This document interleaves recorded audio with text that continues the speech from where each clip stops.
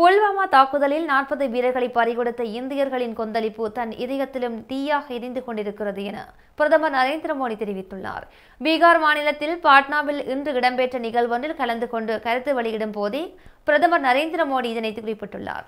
புல்வாமா தாக்குதலில் வீரமரணமடைந்த பீகார் மாநிலம் பாட்னாவை சேர்ந்த சஞ்சய் குமார் சின்ஹா மற்றும் பாகல்பூர் பகுதியைச் சேர்ந்த ரத்தன் குமார் ஆகியோருக்கு அஞ்சலி செலுத்தியதுடன் அவர்களின் குடும்பத்தாருக்கு தனது ஆழ்ந்த இரங்கல்களை தெரிவித்துக் கொள்வதாகவும் மோடி தெரிவித்துள்ளார்.